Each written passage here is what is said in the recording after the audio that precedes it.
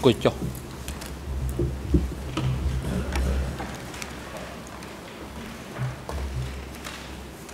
អង្គជំនុំជម្រះប្រកាសបន្តកិច្ចដំណើរការនីតិវិធីសមនការសមនការតទៅនេះអង្គជំរះធ្វើសមនការស្ដាប់ស្ដីរៀបរាប់ទុកសោកវេទនានិងស្ថានភាពចេះធនកម្មរបស់ដើមម្ដងរដ្ឋនីដែលមានថាសនាម 2TCCP 256 មន្ត្រីរដ្ឋបាលតុលាការអញ្ជើញដើមម្ដងរដ្ឋនីមកចន់កាន់កន្លែងថ្លែងរៀបរាប់អំពីទុកសោកវេទនានៅចំពោះមុខអង្គជំរះ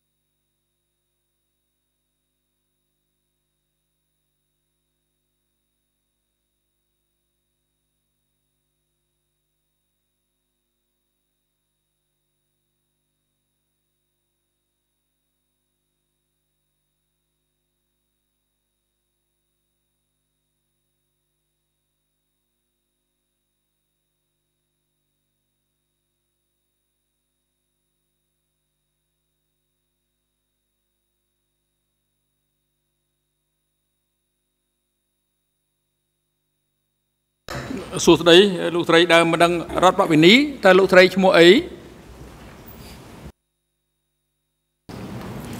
ចានាងខ្ញុំឈ្មោះអឹមវណ្ណៈលោកប្រធានអរគុណលោកស្រីអឹមវណ្ណៈតើលោកស្រីកើតនៅថ្ងៃខែឆ្នាំណា លោកស្រីចាំដែរទេ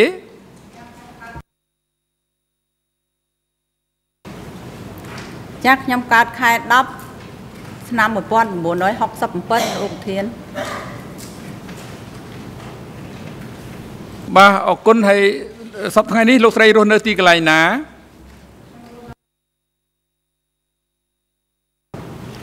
ខ្ញុំរស់នៅភូមិធ្នងរលើងឃុំលេបូស្រុកត្រាំកក់ខេត្តតាកែវបាទអរគុណហើយលោកស្រីប្រកបមុខរបររកស៊ីធ្វើអ្វីដែរសប្តាហ៍ថ្ងៃនេះ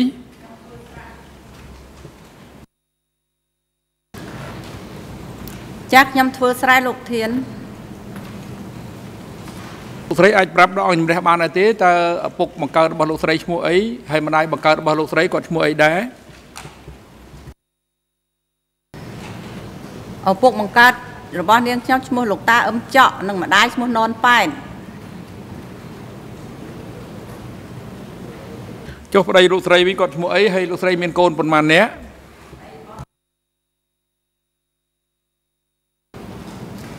ប្តីរបស់ខ្ញុំឈ្មោះនាងសុផនខ្ញុំមានកូន4នាក់បាទអរគុណហើយលោកស្រីអមណៈក្នុងនាមលោកស្រីជាដើមម្ដងរដ្ឋនេះនៅក្នុងរឿងក្តីនេះអឺអង្គជំនុំជម្រះផ្ដល់វិធាការឲ្យទៅលោកស្រីអាចថ្លែងរៀបរាប់សម្រាប់ដល់អង្គសមនការអំពីស្ថានភាព ទុកសោកវេទនានិងស្ថានភាពជាសនកម្មដែលកើតមានចំពោះលោកស្រីជាអាចការខូចខាតខាងផ្លូវចិត្តផ្លូវកាយសម្ភារៈដែលជាផ្ទះសនកម្មផ្ទាល់ខ្លួន ដែលជាបច្ច័យដែលផ្ទាល់អំពីបទអក្រិតនិងបានកើតមានពិតប្រកបរហូតដល់សប្តាហ៍ថ្ងៃនេះដែលនាំឲ្យលោកស្រីតាំងខ្លួនជាដើមម្ដងរដ្ឋបវេនីក្នុងរឿងក្តីនេះដែលពាក់ព័ន្ធជាមួយនឹងបទអក្រិតដែលត្រូវបានចោទប្រកាន់ទៅលើជនជាប់ចោទទាំងពីររូបគឺលោកនុនជានិងខៀវសំផនដែល បានប៉ះពាល់ផ្ទាល់ចំពោះលោកស្រីក្នុងអំឡុងរបបកម្ពុជាប្រជាធិបតេយ្យគឺចាប់ពីថ្ងៃទី17ខែមេសាឆ្នាំ75រហូតដល់ថ្ងៃទី6ខែមករាឆ្នាំ79ហើយជំរាបភាគីសាធារណជនថាលោកស្រីឆាយម៉ារីដេតជាបុគ្គលិកអង្គការ TVO នៅអង្គុយក្បែរដើមម្ដងរដ្ឋវិនីនៅក្នុងឡុងពេលដើមម្ដងរដ្ឋវិនី រូបនេះថ្លែងរៀបរាប់អំពីស្ដីទុកសោកវេទនានិងស្ថានភាពជាសកម្មរបស់ខ្លួនហើយតាមដំណើររបស់ដើមរបស់មេធាវីនៅមុខតំណាងដើមម្ដងរដ្ឋវិនីអង្គជំរះផ្ដល់វិធាការជូនទៅក្រមមេធាវីនៅមុខតំណាងដើមម្ដងរដ្ឋវិនីដើម្បីសាកសួរពីស្ថានភាពជាសកម្មនិងទុកសោកវេទនាទាំងឡាយដែលកើតមានចំពោះដើមម្ដងរដ្ឋវិនីរូបនេះសូមអញ្ជើញបាទ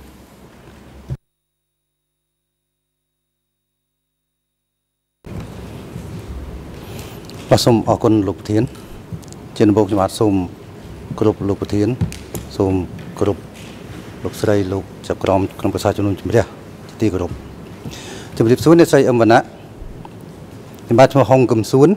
ជាមេធាវីតំណាងដើមបណ្ដឹងរដ្ឋវិនីមកពីអង្គការក្រមអ្នកច្បាប់ការពារសិទ្ធិកម្ពុជាហើយក៏ជាមេធាវីតំណាងដើមបណ្ដឹងរដ្ឋវិនីនៅក្នុងសំណុំរឿង002នេះផងដែរ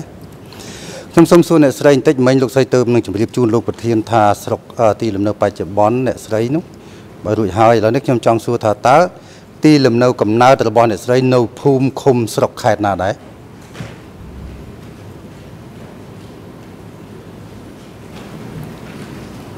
ចាទីរំនៅអឺកំណើតរបស់នាងខ្ញុំភូមិធ្នងរលើងឃុំលីបូស្រុកត្រាំកក់ខេត្តតាកែវរដែលបាទសូមអរគុណបាទសូមអរគុណ ខ្ញុំសូមសួរបន្តិចថាមុនពេលដែលរបបកម្ពុជាប្រជាធិបតេយ្យឬរបបខ្មែរក្រហមចូលដល់ចូលកាន់កាប់ប្រទេសកម្ពុជាទាំងមូលហ្នឹងតើអ្នកស្រីនិងក្រុមគ្រួសារហ្នឹងរស់នៅទីកន្លែងណាដែរ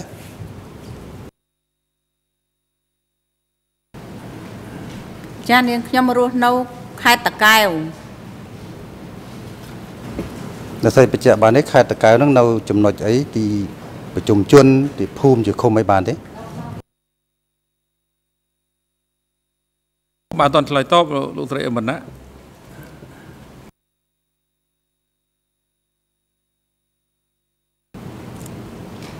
ចានៅក្នុងទីរួមខេត្តតាកែវហ្នឹងតែម្ដងបាទសូមអរគុណអញ្ចឹងនៅពេលដែលខាងក្រមអឺខ្មែរក្រហមចូលដល់ទីក្រុងតកែវតើក្រុមគ្រួសារអ្នកស្រីនៅរស់នៅកន្លែងហ្នឹងឬក៏ទៅនៅកន្លែងផ្សេងទៀតហើយកន្លែងនោះជាកន្លែងណាដែរ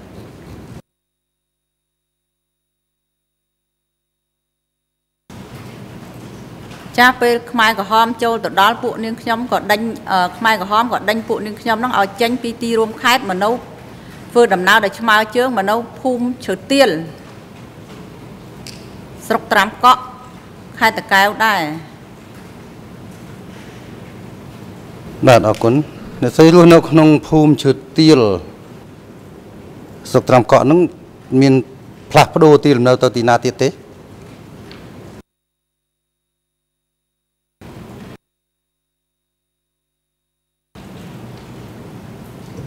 ចាត្រូវបានអឺមេកងខាងអឺភូមិឈើទៀលនោះជំលះឲ្យមកនៅភូមិអង្គនរាយភូមិលេបូស្រុកត្រាំកក់ខេត្តតាកែវរដែលតើស្រីអាចជម្រាបជូនអង្គសវនាការបានទេថាពេលណានៅតែផ្លាស់ប្ដូរទីលំនៅមកនៅខាងអង្គនារីវិញឆ្នាំណា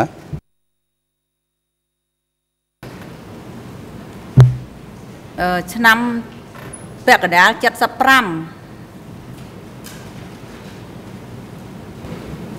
ហេតុអ្វីបានអ្នកស្រីនិងក្រុមគ្រួសារមិនត្រឡប់ទៅនៅភូមិកំណើតវិញ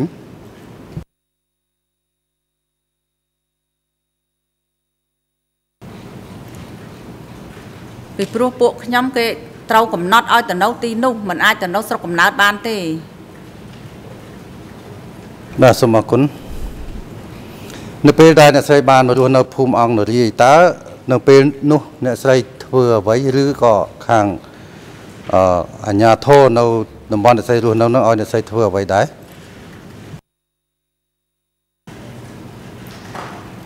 កាលពីខ្ញុំទៅមកដល់ភូមិអង្គនរាយនោះខ្ញុំរស់នៅជុំឪពុកម្ដាយបងប្អូនក៏ប៉ុន្តែដល់តែឆ្នាំ1976ហ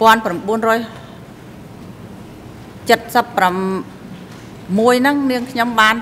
គេបញ្ចេញឲ្យទៅកង កុមារកងចល័តកុមារនៅអឺវត្តលេបូអ្នកស្រីអាចជម្រាបជូនឲ្យច្បាស់ជាងនឹងបានទេថាតើរបៀបនៃការឲ្យមកនៅកងកុមារនោះតើកងចល័តកុមារឬកងកុមារនៅ ក្នុងភូមិក្នុងសហគមន៍បាទ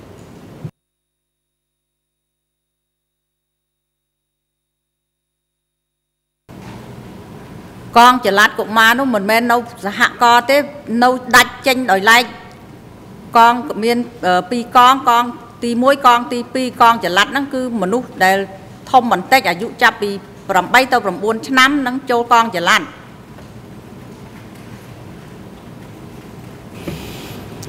កស្រីអាចជម្រាបបានទេអំពីរបៀបនៃការចូលកងចល័តហ្នឹងតើមកដោយការជ្រើសរើសដោយស្ម័គ្រចិត្តឬក៏ឲ្យមកចូលដោយរបៀបណាដែរ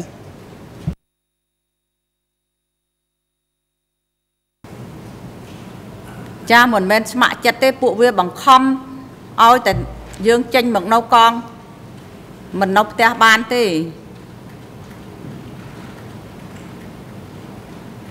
អ្នកស្រីនិយាយថាពួកនោះឬពួកវានោះតើអ្នកណាគេអ្នកឲ្យអ្នកស្រីមកនៅកងចល័តកងកុមារ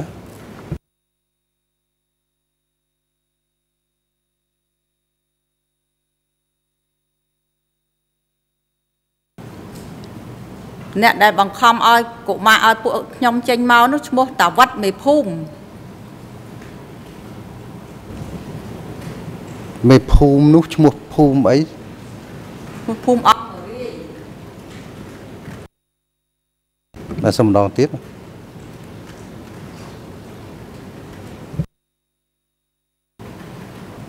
មេភូមិនោះអឺឈ្មោះតាវត្តនៅភូមិអង្គនរាយ បាទសូមអរគុណពេលដែលអ្នកស្រីត្រូវបានមេភូមិបញ្ជូនឲ្យមកនៅកងចល័តកុមារនោះតើកងកុមារនោះនៅចំណុចឬនៅភូមិឃុំឬតំបន់ឬក៏ស្រុកអីដែរដែរនៅអឺកងចល័តកុមារនោះគេហៅថាតំបន់អស្រុក105តំបន់13 នឹងខ្ញុំចាំបានតែប៉ុណ្ណឹងបើគិតមកដល់ឥឡូវនេះតំបន់13ឬស្រុក105ហ្នឹងឈ្មោះជាសាមញ្ញខុសពីលេខហ្នឹងមានអ្នកស្រីចាំបានឈ្មោះអីដែរ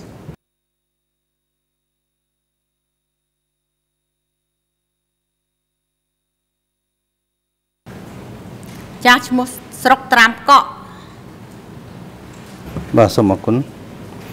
នៅពេលនោះក៏កងកុមារឬក៏កងចល័តកុមារអ្នកស្រីហ្នឹងត្រូវបាន គេឲ្យធ្វើការងារអីដែរ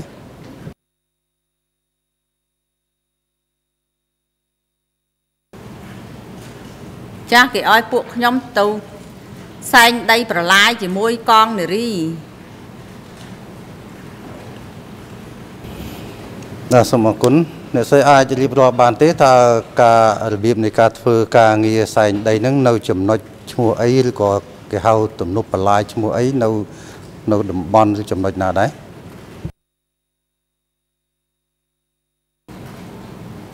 ចាស់គេឲ្យខ្ញុំទៅអឺសែងដីប្រឡាយនោះនៅគេហៅថាប្រឡាយព្រៃធាតនៅឃុំដេបូនឹងដែរ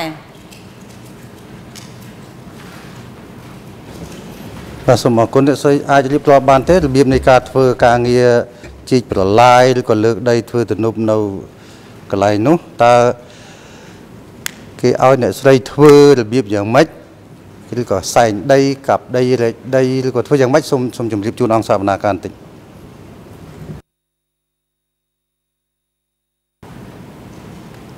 ចាស់គេឲ្យពួកខ្ញុំទៅជីកអឺសែងដីប្រឡាយហ្នឹងចាប់តាំងពីម៉ោង6ព្រឹករហូតដល់ម៉ោង11កន្លះថ្ងៃត្រង់ បើពួកខ្ញុំធ្វើមិនហើយគេមិនឲ្យបាយហូបទេពីព្រោះគេដាក់កំណត់កុមារហ្នឹងឲ្យគ្នា10នាក់ហ្នឹងឲ្យហើយឲ្យហើយដីចំនួន10គីប10ម៉ែត្រការ៉េហ្នឹងតែពួកខ្ញុំជួនកាលក៏ធ្វើហើយជួនកាលក៏ធ្វើមិនហើយបើកាលណាជួបប្រទះដីទុនទៅពួកខ្ញុំក៏បានធ្វើក្នុងមួយថ្ងៃទល់យប់ហ្នឹងហើយបើថាដីរឹងទៅកុមារខ្ញុំធ្វើមិនបានទេ បើធ្វើមិនបានគេមិនអោយបបរហូបទេបាទសូមអរគុណសូមអ្នកស្រីបញ្ជាក់ឲ្យបានច្បាស់បន្តិចមិញអ្នកស្រីថាកុមារដែលអ្នកស្រីទៅធ្វើការលើកទំនប់ឬក៏លើកដីហ្នឹងគេឲ្យធ្វើ10ម៉ែត្រគីបតើគេកំណត់របៀបយ៉ាងម៉េចប៉ុន្មានអ្នកឬក៏ជាក្រុមឬក៏ជាកងយ៉ាងម៉េចដែលឲ្យលើក10ម៉ែត្រគីបនោះបាទ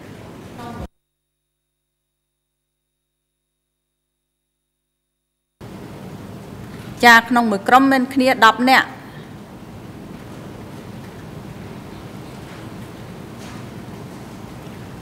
បាទសូមអរគុណចឹងអ្នកស្រីថាបើពេលលើកមិនហើយឬក៏ធ្វើហើយខ្លះធ្វើមិនហើយខ្លះអញ្ចឹងគេអត់ឲ្យបាយឬបបរគេឲ្យហូបបាយឬឲ្យហូបបបរ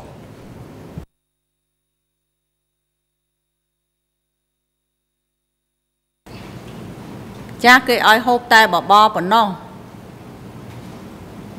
មិនមានបាយហូបទេម្ហូបអាហារដែលអ្នកស្រីទទួលនឹងបានឆ្អែតទេ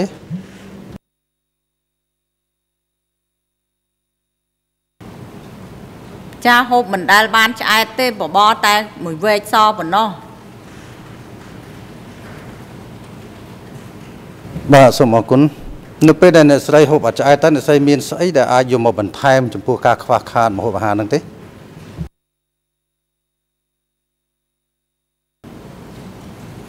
ចាស់មានអឺពួកក្មេងៗខ្ញុំកាលណាដែលឃ្លៀស្រេកឃ្លានពេកដើរទៅក្បែរក្បែរព្រៃហ្នឹងសុំគេទៅបត់ជើងធំហ្នឹងប៉ុន្តែការពិតមិនមែនបត់ជើងធំទេពួកខ្ញុំទៅបេះស្លឹកថ្នាំងបូតយកមកដាក់កប៉ាវលួចហូបពេលកាលណាដែលស្រេកឃ្លានពេកបាទសូមអរគុណអញ្ចឹងខាងមេ កើយឬក៏មេកងមេក្រុមគេអនុញ្ញាតឲ្យអ្នកស្រីរកអាហារបន្ថែមអញ្ចឹងដែរទេ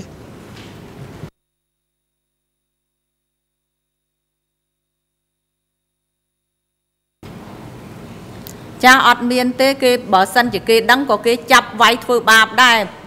លួចបេះហ្នឹងដោយសារតែកំបាំងភ្នែកគេបានពួកខ្ញុំលួចបេះបានខ្ញុំសូមសួរអ្នកស្រីបន្តិច ពាក្យថាបើគេឃើញគេនឹងធ្វើបាបហ្នឹងអ្នកស្រីធ្លាប់ទទួលរងទុក្ខទរណកម្មដោយសារកំហុសអ្វីខ្លះដែរទេក្នុងកំឡុងសម័យខ្មែរក្រហមឬកម្ពុជាប្រជាធិបតេយ្យនោះចាស់នាងខ្ញុំធ្លាប់រងទរណកម្មអឺវាយរាងកាយនាងខ្ញុំពីព្រោះនាងខ្ញុំដើរដូចថាសុំច្បាប់មកផ្ទះបានតែមួយមួយដងទេក្នុងមួយខែតែនាងខ្ញុំ នឹករលឹកឪពុកម្ដាយពេកនាងខ្ញុំលួចរត់មកក៏មាន គេចាប់បាន គេវាយធ្វើបាបទៅអ្នកស្រីរៀបរាប់ឲ្យបានពុស្ដាបន្តិចបានទេរបៀបនៃការគេពាក្យថាធ្វើបាបធ្វើទរណកម្មរបៀបយ៉ាងម៉េចដែរ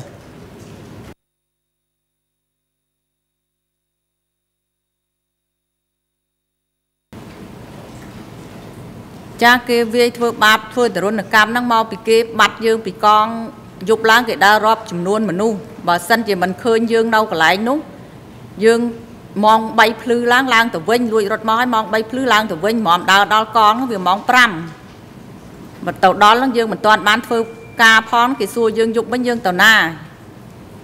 ហើយឆ្លើយប្រាប់គេថាខ្ញុំសុំទៅមិត្តបងខ្ញុំសុំទៅមើលម្ដាយខ្ញុំឈឺ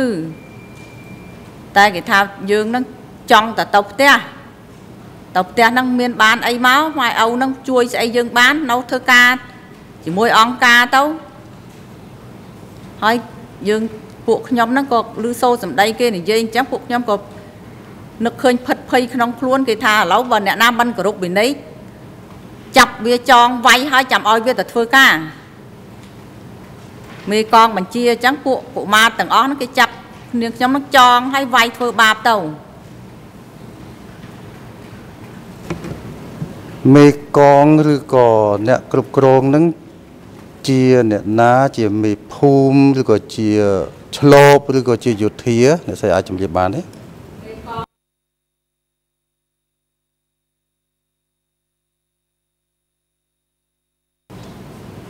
ចាស់មេកងហ្នឹងស្រីឈ្មោះសារូអរគុណ តើនៅពេលដែលគេចាប់អ្នកស្រីចងវាធ្វើបាបហ្នឹងគេធ្វើយ៉ាងម៉េចគេយកដបងវាយឬក៏ទាត់ធាក់ឬមិនអាចនិយាយពិស្ដារជាងហ្នឹងបានទេ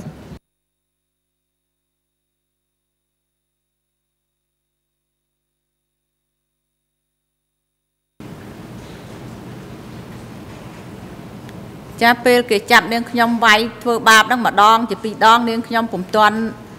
មានជំងឺទេដល់តែពេលលើកទី3នាងខ្ញុំអឺ គេវាយធ្វើបាបខ្លាំងពេកនាងខ្ញុំធ្លាក់ខ្លួនឈឺជាទម្ងន់ខ្ញុំឈឺគ្រុនក្តៅក្តៅយប់យប់ចឹងថ្ងៃយប់ក៏ក្តៅថ្ងៃក៏ក្តៅដែរសុំគេឈប់គេមិនអោយខ្ញុំឈប់ទេតែខ្ញុំទៅសុំថ្នាំពេទ្យមិនដែលបានថ្នាំពេទ្យទេបានតែម្សៅដំឡូងមីហើយខ្ញុំធ្លាប់ឮអ្នកម្ដាយខ្ញុំថាបើសិនជាឈឺឲ្យចម្រាច់ស្លឹកឆ្ដៅហ្នឹងផឹកទៅព្រោះយើងគ្មានថ្នាំសង្កូវព្យាបាលទេកូនតែនាងខ្ញុំ ក៏ទៅបេះស្លឹកឆ្ដៅចម្រាច់ផឹកតែទទួលប្រទះនឹងឆ្លប់ម្នាក់ថាក្មេងកុមារមិនធ្វើការគេមករាយការណ៍ប្រាប់អង្គការអង្គការចាប់នេះខ្ញុំចង់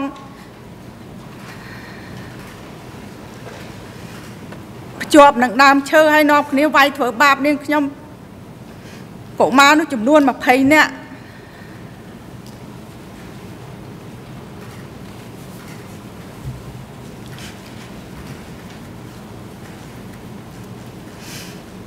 ទាំងខ្លួនខ្ញុំមានជំងឺជាប់ខ្លួន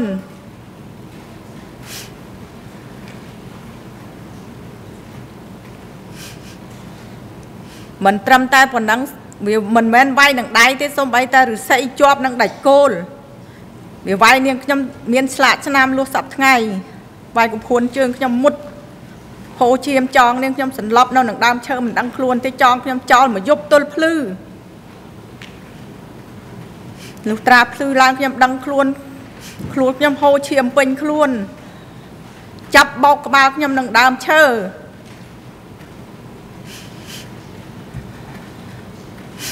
ពេលខ្ញុំឈឺចាប់ខ្ញុំ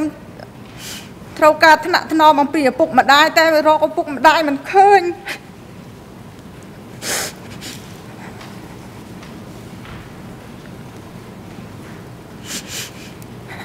ពេលនោះស្រែកដង្ហោយហៅក៏គ្មានអ្នកណាមកជួយខ្ញុំខ្ញុំមានតែម្នាក់ឯងគ្មានអ្នកណាមកចិត្តខ្ញុំទាំងអស់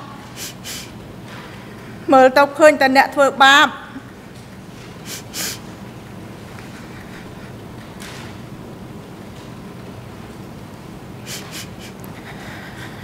ខ្ញុំរកអ្នកណាមិនឃើញខ្ញុំនឹកឃើញដល់ឪពុកម្ដាយនឹកឃើញដល់បងប្រុសម្នាក់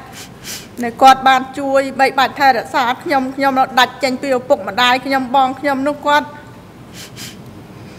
ប្រហែលជាមួយខែគាត់លួចមកមើលខ្ញុំម្ដង បានថ្នោតទុំបានដំឡូងដុតមកផ្ញើខ្ញុំដាក់កប៉ាវខោពេលថ្ងៃត្រង់លួចមកមើលខ្ញុំមកផ្លែតមកផ្លែតដើម្បីយកមកឲ្យប្អូនហូបហើយលួងលោមខ្ញុំកុំឲ្យខ្ញុំយំកុំឲ្យខ្ញុំនិយាយអីឲ្យខ្ញុំខំប្រឹងធ្វើការខ្លាចអង្គការយកទៅសម្លាប់ចោលអូនខំប្រឹងធ្វើការទៅ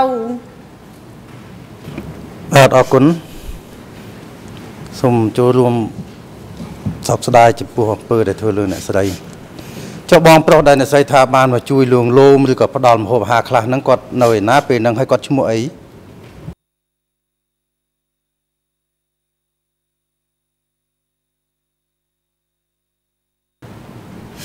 ចាបងប្រុសគាត់ឈ្មោះអឹមម៉ាចត្រូវបានពុតពុតសម្លាប់បាត់ហើយ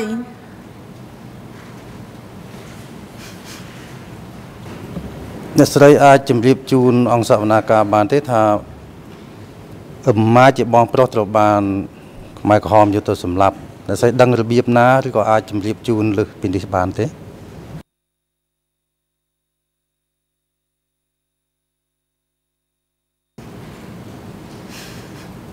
ចានៅពេលនាងខ្ញុំដើររួចបានទៅធ្វើការនឹងគេគាត់ក៏ ខ្ញុំក៏បានដំឡូងដុតមួយមើមខ្ញុំលួចគេបានដំឡូងដុតមួយមើមហ្នឹងខ្ញុំក៏ទៅរកគាត់ពេលថ្ងៃបាយហើយថ្ងៃត្រង់ហ្នឹងខ្ញុំនៅកង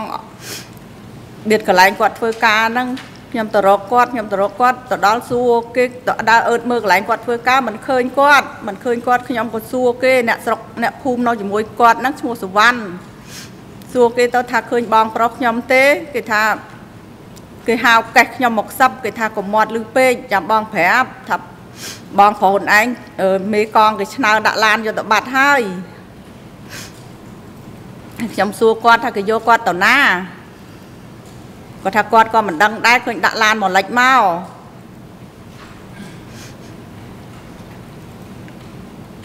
បាទសូមអរគុណមកដល់ចំណុចនេះខ្ញុំចង់សួរអ្នកស្រីបន្តិចនៅក្នុងពាក្យបណ្ដឹងរបស់អ្នកស្រី ឯកសារលេខ D 22/86 ERN 0035 34 55ជាភាសាខ្មែរនិង ERN លេខ0045 0336ជាភាសាអង់គ្លេសជាមួយនឹងឯកសារមួយទៀតគេហៅថាព័ត៌មានបន្ថែមគឺ D22/86A ERN 00579245ជាភាសាខ្មែរច្បាប់មានតែមួយច្បាប់ជាភាសាខ្មែរ ចំណុចនេះខ្ញុំក៏ចង់ប្រៀបធៀបបន្តិចថា ក្នុងពាក្យបណ្ដឹង ដែលអ្នកស្រីបានដាក់ពាក្យជាមួយនឹងអង្គការ DC Cam នោះថាបងប្រុសអ្នកស្រីនឹងបាត់ខ្លួនឬក៏ត្រូវបានចាប់ខ្លួនដោយសារអឺមេកងគេស្នើឬគេយកទៅដូចអ្នកស្រីមានរៀបរាប់អំបញ្ញមិញតើអ្នកស្រីបានដឹងថាតើមូលហេតុយ៉ាងម៉េចទេដែលបានដែលត្រូវបានគេស្នើឬក៏គេចាប់យកទៅនោះ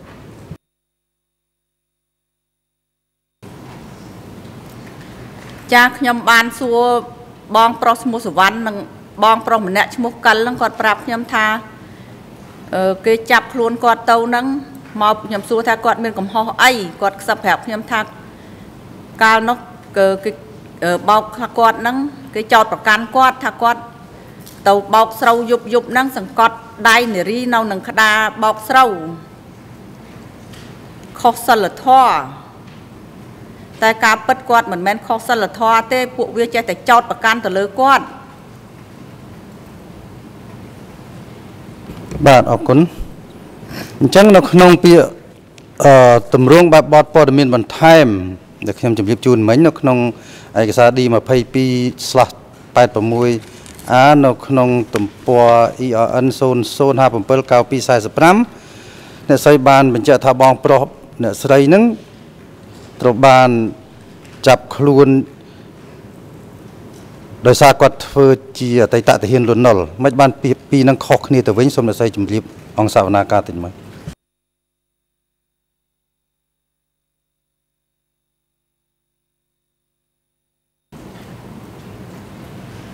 ចាពេលនោះបានជានាងខ្ញុំអឺ មិនទាន់បានព័ត៌មានអំពីថាបងប្រុសនាងខ្ញុំធ្វើជាទាហានលន់នល់នោះនាងខ្ញុំកាលពីមុនឬសូគេថាបងប្រុសនាងខ្ញុំខុសសិលធម៌សង្កត់ដៃនារីនៅនឹងក្តារតែទៅតែខ្ញុំដាក់ពាក្យបណ្ដឹងហើយអ្នកម្ដាយខ្ញុំថាកូន បងប្រុសរបស់ខ្លួនឯងមិនមែនខុសសិលធម៌ទេ បងប្រុសខ្លួនឯងអតីតជាទាហានលន់នល់កូនដឹងទេដល់ពេលខ្ញុំធ្វើព័ត៌មានបន្ថែមនេះចុងក្រោយខ្ញុំដាក់ថា អញ្ចឹងព្រោះអតីតបងខ្ញុំជាទាហានលន់នល់ខ្ញុំដឹងពីអ្នកម្ដាយខ្ញុំប្រាប់ខ្ញុំថាអញ្ចឹង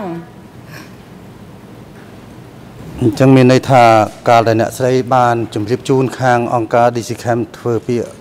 តម្រង់បែបបទបណ្ដឹងដំបូងហ្នឹងគឺបានដឹងដោយសារគេប្រាប់ថាគេចោទថាបងប្រុសអ្នកស្រីហ្នឹងខុសសិលធម៌ទេ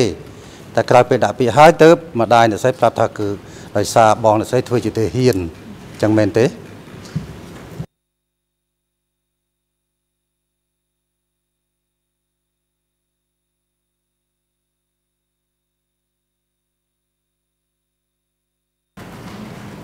ចាអ្នកម្ដាយរបស់ខ្ញុំគាត់ប្រាប់ហ្នឹងគាត់ថាគេតាមដានពីរឿងទាហានហ្នឹងយូរហើយ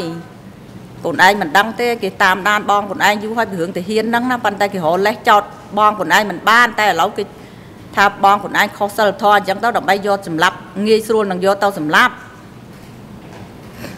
បាទសូមអរគុណចំណុចមួយទៀតដែរនៅក្នុងឯកសារពាក្យបណ្ដឹងអ្នកស្រីនៅដែរដែលអ្នកស្រីបានប្រើពាក្យមួយថាប្រហែលជាគេយកបងអឹមម៉ាចហ្នឹង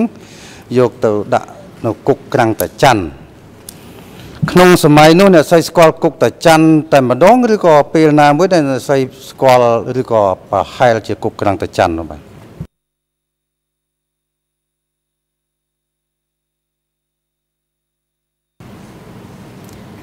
ចាស់ពេលនោះនាងខ្ញុំពុំស្គាល់ថា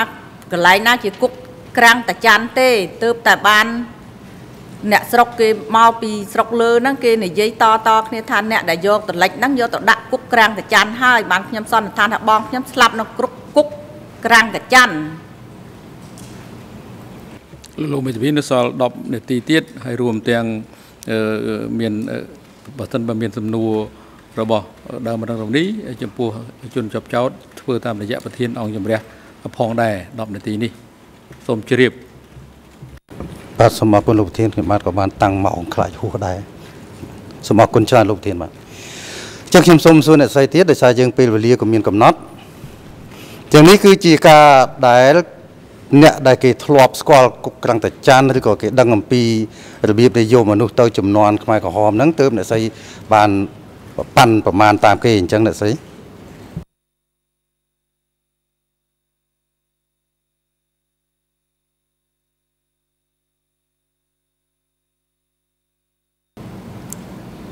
ចាខ្ញុំឮសូរគេប្រាប់អញ្ចឹងខ្ញុំក៏នឹកឃើញថាបងខ្ញុំដឹកទៅតាមឡានតលិចហ្នឹងគ្មានកន្លែងគុកឯណាច្រើនជាងហ្នឹងទេបើគេថាក្រាំងកញ្ចាន់គឺបងប្រុសខ្ញុំប្រហែលជាស្លាប់នៅទីនោះខ្ញុំអរាល់ពេលរដូវភ្ជុំបិណ្ឌចូលឆ្នាំខ្ញុំទៅធ្វើបុណ្យឧទ្ទិសកុសលឲ្យគាត់បាំងនិមន្តលោកបាំងស្គលឲ្យគាត់រៀងរាល់ឆ្នាំមួយឆ្នាំពីរដងបាទអរគុណខ្ញុំសូមសួរអ្នកស្រីមួយទៀតតកតងជាមួយនឹងក្នុងអ ប្រវត្តិនៃការរស់នៅរបស់អ្នកស្រីថាបានត្រូវបានខាងមេកងប្រើឲ្យអ្នកស្រីហ្នឹងទៅកាប់ដើមទន្ទ្រានខេតទៅរើសអាចគោទៅកាប់ដីដំបូកជាដើមអញ្ចឹងនៅក្នុងកំឡុងឆ្នាំណាដែលអ្នកស្រីបានត្រូវផ្លាស់ប្ដូរការងារពីលើកទំនប់ឬក៏ជីកបន្លាយឲ្យទៅកាប់ទន្ទ្រានខេតវិញនោះបាទ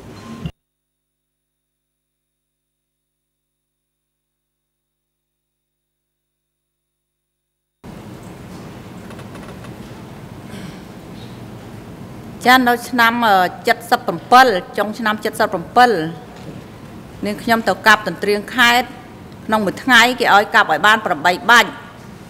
បើមិនបានដោយការកំណត់របស់ប្រធានកង គេមិនឲ្យហូបបបរទេហើយបើកាប់បើរើសអាចគោឲ្យរើសឲ្យបាន3បាវឆ្នោតបើរើសមិនបាន គេមិនឲ្យហូបបាយដែរតែនាងខ្ញុំរើសមិនបានគ្រប់កំណត់ រាល់ថ្ងៃទេថ្ងៃណានាងខ្ញុំមានអាចគោរើសក៏រើសបានទៅបើរើសមិនបាននាងខ្ញុំទៅលួចនៅនឹងកន្លែងតាតាគាត់ចិញ្ចឹមគោទើបខ្ញុំរួចខ្លួនបានបបរហូបបាទខ្ញុំសូមសួរអ្នកស្រីតកតងជាមួយនឹងពេលវេលានៃការធ្វើការងារជាកងកុមារឬអាចគោឬកាប់ទុនខេតមាននៅក្នុងពាក្យបណ្ដឹងដែលអ្នកស្រីបានអឺ ជំរាបជូនអ្នកយកព័ត៌មានថាពេលអ្នកស្រីរើសអាចគោឬក៏ទៅកាប់ទន្ទ្រានខេត្តនោះបានជួបព្រឹត្តិការណ៍មួយដែលឃើញពួកឆ្លូបនាំមនុស្សទៅសម្លាប់នោះតើយ៉ាងម៉េចដែរអាចជំរាបជូនបន្តិចបានទេ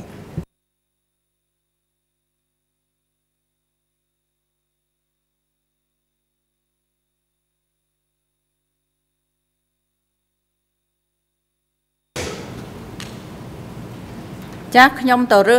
ទៅកាប់ទន្ទ្រានខេតនៅម្ដុំវត្តរស័យទៅនៅភូមិជ្រេះឃុំរកាក្នុងនាងខ្ញុំឃើញឆ្លប់ចំនួន7នាក់បណ្ដើមនុស្សចំនួន15នាក់ពួកខ្ញុំនឹងមួយក្រុមនឹងបំបែកជា2 5នាក់ទៅចូលខាងនេះ5នាក់ចូលខាងនោះតែពួកខ្ញុំកាច់ទន្ទ្រានខេតបានគ្រប់ចំនួនហើយពួកខ្ញុំក៏បបួលគ្នាចូលទៅបេះផ្លែរំពាក់ទុំ ពេលនោះខ្ញុំឃើញស្លប់បណ្ដាមនុស្សចាស់មានកាន់គល់ឫស្សីគ្នា3នាក់កាន់គល់ឫស្សីគ្នា4នាក់កាន់កំភ្លើងស្ពាយកំភ្លើងនៅនឹងឆ្មាតែអ្នកស្ពាយកំភ្លើងនោះរៀងតូចតូចទេកំភ្លើងចង់អូសដីពួកខ្ញុំឃើញអញ្ចឹងពួកខ្ញុំភ័យខ្លាចណាស់ខ្ញុំលាក់ខ្លួនក្នុងកំពតរំពាក់ក្បែរនោះចំនួនប្រហែលជា20ម៉ែត្រពីកន្លែងឆ្លប់សម្រាប់មនុស្សនោះ ពួកខ្ញុំឃើញឆ្លប់ចាប់ម្ដងម្នាក់ម្ដងម្នាក់វាយក្បាលនឹងគល់ឫស្សីស្រែកយំទៅហឹងពេញទាំងព្រៃទាំងអស់ពួកខ្ញុំឃើញអញ្ចឹងភ័យខ្លាំងណាស់ខ្ញុំពួនក្រាបដល់ដីញាក់ខ្ញុំភ័យពេកខ្ញុំសន្លប់បាត់ស្មារតីកុមារទាំង4នាក់នោះឃើញខ្ញុំសន្លប់ក៏នាំគ្នាច្បាច់ហើយបិទមាត់ទាំងអស់គ្នាមិនហ៊ានស្រែកទេពោះព្រោះខ្លាចបើសិនជាពួកវាឃើញខ្ញុំក៏វាសម្លាប់ពួកខ្ញុំចោលដែរឃើញឈាមបាច់ពី ពេញនឹងព្រៃឈើទាំងអស់សូមអរគុណឥឡូវនេះខ្ញុំសូមសួរអ្នកស្រីតកតងជាមួយនឹងការឈឺចាប់របស់អ្នកស្រីក្រោយពេលដែលអ្នកស្រីរួចផុតពីរបបកម្ពុជាប្រជាធិបតេយ្យឬរបបខ្មែរក្រហមមកតើសុខភាពរបស់អ្នកស្រីឬក៏អារម្មណ៍របស់អ្នកស្រីយ៉ាងម៉េចដែរ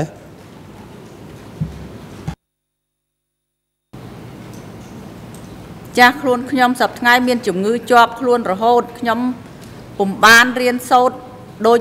គេឯងទេនាងខ្ញុំរៀនបានតែត្រឹមថ្នាក់ទី4ទី5ប៉ុណ្ណោះពីព្រោះនាងខ្ញុំមានជំងឺជាប់ខ្លួនផងណាមួយឪពុកម្ដាយចាស់មិនបានរៀនសូត្រទេបាទអរគុណចុះចំពោះក្រុមគ្រួសារអ្វីដែលអ្នកស្រីសោកស្ដាយបំផុតឬក៏នឹកចងចាំជានិច្ចនោះតើអ្នកណាខ្លះបាទ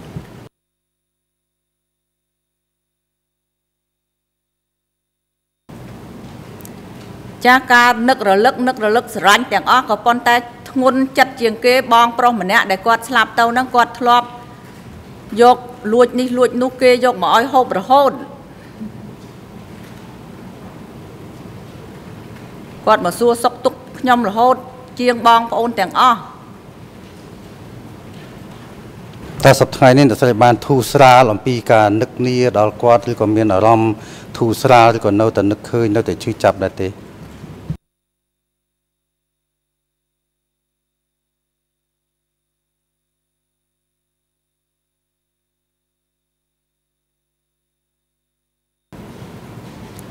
ចាខ្លួនខ្ញុំសប្តាហ៍ថ្ងៃនេះឲ្យតែខ្ញុំនឹកឃើញអំពីរឿងស្លាប់របស់បងប្រុសខ្ញុំហើយនឹងធ្វើបាបរាងកាយខ្ញុំខ្ញុំនឹកឃើញឆ្មាល់ម៉ានប្រៀបដូចជាកើតថ្មីថ្មីនៅនឹងភ្នែករបស់នាងខ្ញុំបាទទីចុងក្រោយនេះតើអ្នកស្រីមានជាសំណូមពរឬជាសំណួរអ្វីសម្រាប់លើកឡើងសួរទៅខាងត្រជនត្រចោតទេប៉ុន្តែសំណូមពរឬសំណួរទាំងអស់នេះគឺអ្នកស្រីសុំទៅតាមរយៈលោកប្រធាន ដើម្បីឲ្យលោកយកពាក្យសម្ដីរបស់អ្នកស្រីនោះបន្តទៅទៀតតើមានទេសូមអញ្ជើញ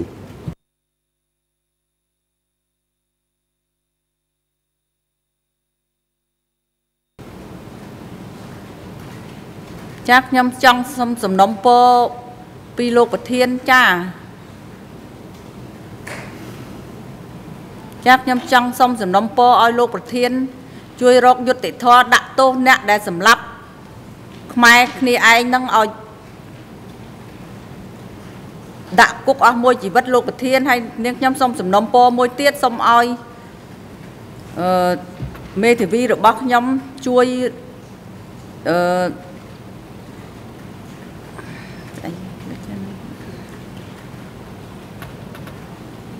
បាទដូចជាសំណងឬក៏អ្វីចង់បានតែយ៉ាងម៉េចសំណង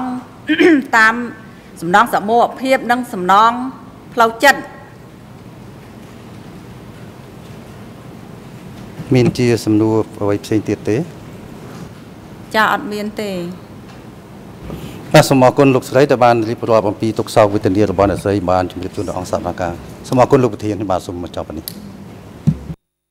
បាទអរគុណដែលជាបន្តនេះអមផ្ដល់វេទិកាជូនទៅក្រុមអឺសហប្រញ្ញាបានតំណាងសហប្រញ្ញាអញ្ជើញ សូមគ្រប់លោកប្រធានសូមគ្រប់អង្គសវនាការទាំងមូលជំរាបសួរលោកស្រីដើមនឹងរដ្ឋវេនីអឺខ្ញុំសូមសួរបញ្ជាក់លោកស្រីឡើងវិញអំពីចំណុចចុងក្រោយដែលលោកស្រីជំរាបជូនអង្គសវនាការមុននេះពាក់ព័ន្ធនឹងករណីដែលលោកស្រី ទៅឃើញឆ្លប់7នាក់នាំអ្នកទោស10នាំមនុស្ស15នាក់ទៅស្លាប់តើនៅពេលនោះអ្នកស្រីស្ថិតនៅក្នុងសហគមន៍ណាស្ថិតនៅក្នុងកងចល័តណាមួយដែរបាទ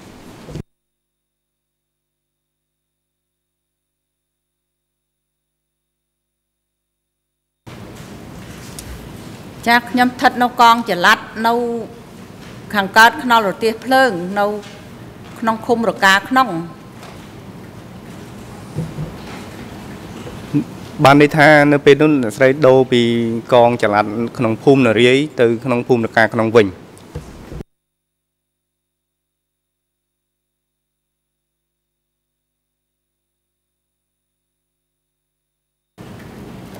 ចាខ្ញុំបានដូរពីអឺ ក្នុងអឺភូមិអង្គនរាយហើយនាងខ្ញុំទៅឃុំរកាក្នុងម្ដងព្រោះទីនោះអឺទន្ទ្រានខេត្តច្រើនម្ដុំហ្នឹងលោកស្រីទៅទៅតាមការចាត់តាំងមួយមួយរយៈដើម្បីទៅកាត់ទន្ទ្រានខេត្តឬមួយក៏ក៏ត្រូវបានចាត់តាំងឲ្យនៅទីនោះជាកងចល័តអឺពេញសិទ្ធតែម្ដង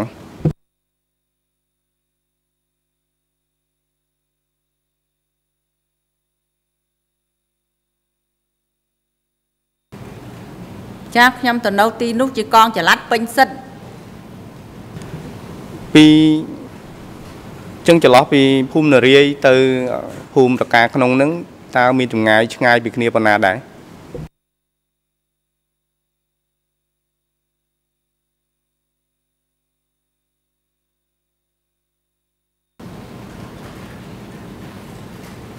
ប្រហែលជា30គីឡូដី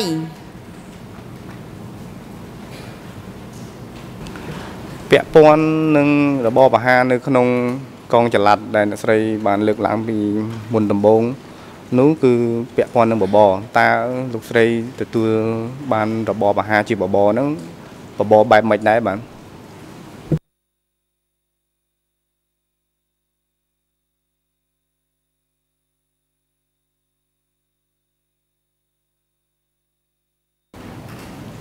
ចាបបរដែលខ្ញុំទទួលបានសព ដងពេលដែលខ្ញុំនៅកងនោះបបររាវខ្លះទៅបបរប៉ិប៉ិហ្នឹងខ្លះទៅមិនមែនបាន តែប៉ិប៉ិរហូតទេបបររាវទឹកនឹងហូបជាមួយសម្លផលិតចុះនៅពេលដែលធ្វើការមិនគ្រប់តាមលក្ខខណ្ឌលោកស្រីបញ្ជាក់ថាអត់បានទទួលរបបអាហារអត់បានតទៅសោះឬក៏ត្រូវបានកាត់បន្ថយ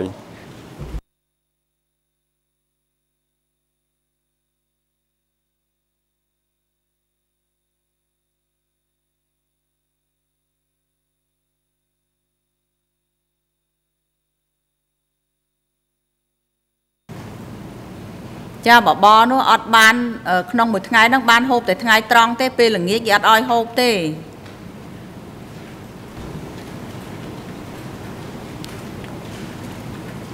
ត្រូវពួកខ្ញុំពេលណាដែលអត់គេបង្អត់ហ្នឹងខ្ញុំហេវពេកក៏ទៅលួចដំឡូងកន្លែងតាតាក៏ដាំទៅជួនក៏ ទៅឃើញតាតានៅកន្លែងហ្នឹងក៏អត់ហ៊ានលួចដែរបើគាត់ទៅបាត់ទៅក៏លួចដកដំឡូងហ្នឹងហូបមិនបានដំឡូងឆ្អិនទេហូបដំឡូងឆៅពាក់ព័ន្ធនឹងលក្ខខណ្ឌការងារម៉ោងពេលលោកស្រីបានបញ្ជាក់ជូនអង្គសាវនាការមុននេះបន្តិចថាធ្វើការពីម៉ោង6ព្រឹកដល់ម៉ោង11កន្លះថ្ងៃត្រង់លោកលោកស្រីធ្វើការតែមួយព្រឹកហ្នឹងឬក៏រសៀលមានការងារបន្ថែមទៀតដែរ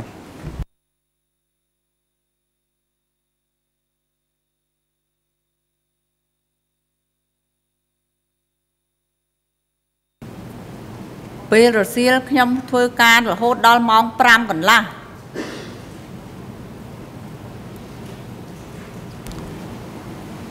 ផុតអំពីនោះទៅ មាន ការងារពេលយប់ទេច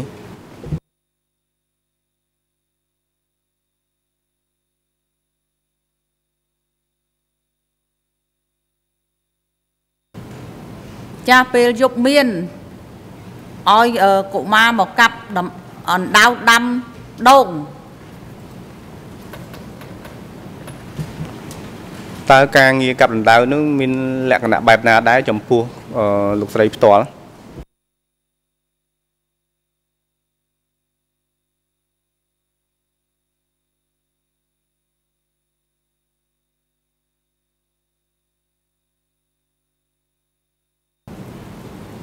ចាស់ការកាប់រណ្ដៅដាំដូងនោះ វាមិនស្រួលទេពីព្រោះកុមារវាឲ្យកាប់តាំងពីម៉ោង 6រហូតដល់ម៉ោង10យប់ឲ្យបាន គ្រប់ចំនួនបើយើងកាប់មិនបាន វានៅបង្ខំយើងឲ្យយើងកាប់តតែបានវាហួសកម្លាំងកុមារនឹងធ្វើពួកខ្ញុំនឿយហត់យ៉ាងណាក៏មិនហ៊ាន ប្រកែកដែរតើលោកស្រីទទួលការងាររបៀបនេះក្នុងរយៈពេលយូរប៉ុណ្ណាដែរ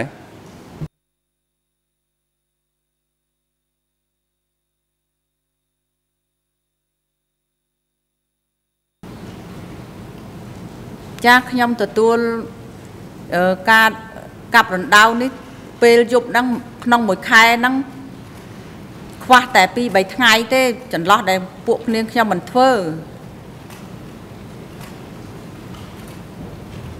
នេះលោកស្រីសំដៅទៅលើកងចល័តនៅភូមិណាដែរ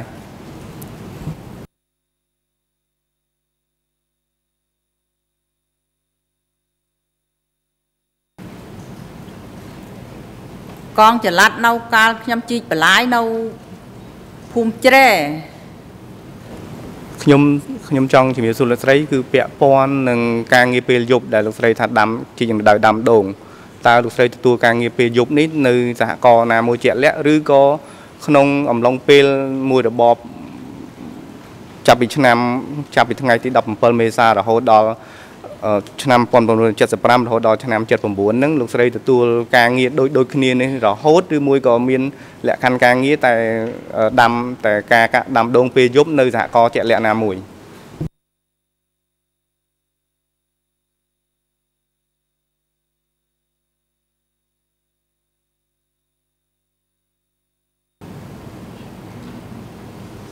ចាស់ខ្ញុំអឺគេឲ្យទៅកាប់រណ្ដៅដាំដូងហ្នឹងនៅ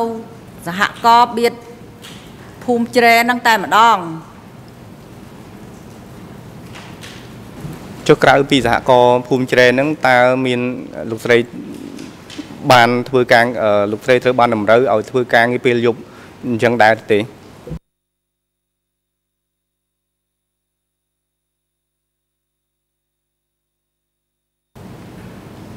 ចាមានគេឲ្យមកផ្លាស់កងមកនៅម្ដុំវត្តខ្នាវត្តខ្នាហ្នឹងគេឲ្យពួកខ្ញុំហ្នឹងកាប់ដណ្ដៅអឺ ពេលថ្ងៃកាប់តន្ត្រៀងខេតឬអាចគោរែកដៃដំបូកពេលយប់ឲ្យខ្ញុំមកកាប់ដណ្ដៅដាំដូងនិងចេកនៅវត្តខ្នាបៀតវត្តនៅម្ដុំវត្តខ្នាអញ្ចឹងជារួមទៅ បានន័យថាការងារជាអចិន្ត្រៃយ៍បានន័យថាការងារជារៀងរហូតមកគឺធ្វើលោកស្រីត្រូវធ្វើការទាំងថ្ងៃទាំងយប់អញ្ចឹងមែនទេ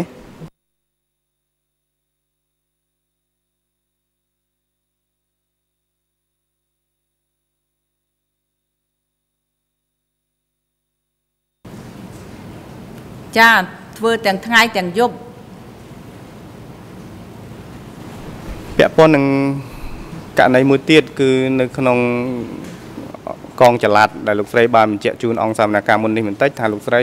ត្រូវបានក្មេងនៅក្នុងកងជាមួយគ្នាចាប់ចាប់ចងនិងវាយដំតើហេតុអ្វីបានកុមារទាំងនោះមានសិទ្ធិវាយដំលោកស្រី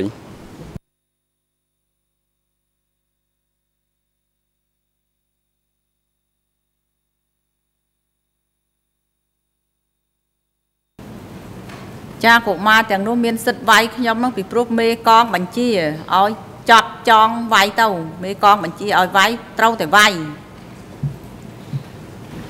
មានន័យថាយ៉ាងដូចម្ដេចបានន័យថានៅក្នុងកងលោកស្រីហ្នឹងកុមារទាំងអស់ក្រៅពីលោកស្រីត្រូវតែមកវាយលោកស្រីនៅពេលទទួលបញ្ជាហ្នឹង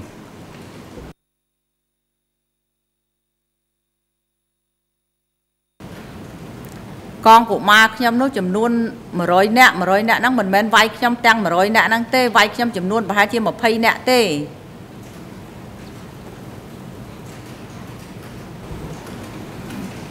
ចុះហេតុអ្វីទើបលោកស្រីទទួលទទួលបានទទួលទណ្ឌកម្មបែបនេះ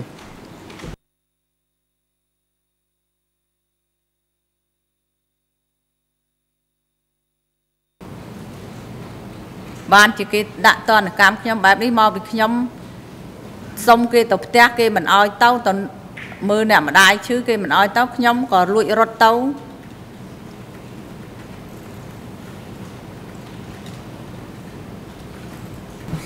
តើលោកស្រីទទួលទណ្ឌកម្មបែបនេះញឹកញាប់ទេក្នុងអំឡុងពេលក្នុងរបបកម្ពុជាប្រជាធិបតេយ្យនេះ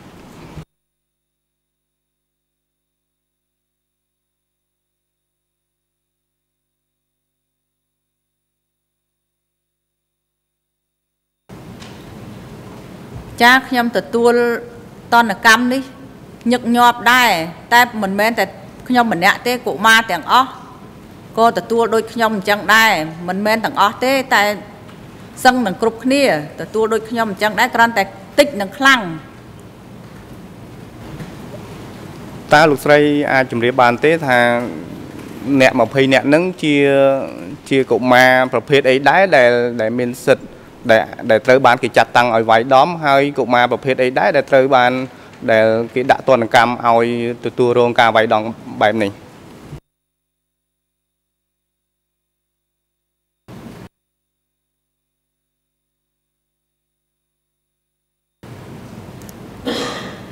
ចាកុមារមូលដ្ឋាន មានសិទ្ធិវាយពួក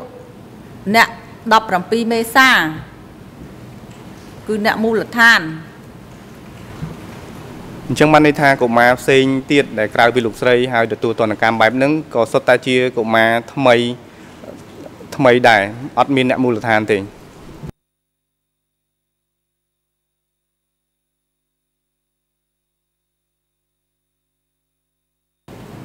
ចាអត់មានអ្នកមូលដ្ឋានទេអ្នកទទួលរងទរណកម្មនឹងសិតតែពួកថ្មីទាំងអស់អត់មានពួកមូលដ្ឋានទេ នៅក្នុងឯកសារ D22/86 ELN ភាសាខ្មែរ00 35 34 56ដល់57និង ELN ជាភាសាអង់គ្លេស00 45 03 37លោកស្រីលើកឡើងថាកុមារប្រហែល10នាក់ទៀតក៏រងគ្រោះដូចខ្ញុំដែរដោយសារតែស្អប់នឹងគុំគួនតើមូលហេតុស្អប់ និងគុំគួននេះជាមូលហេតុចម្បងដែលនាំឲ្យទទួលទណ្ឌកម្មឬក៏មានមូលហេតុផ្សេងហើយតើគុំគួនក្នុងរូបភាពបែបណាដែរ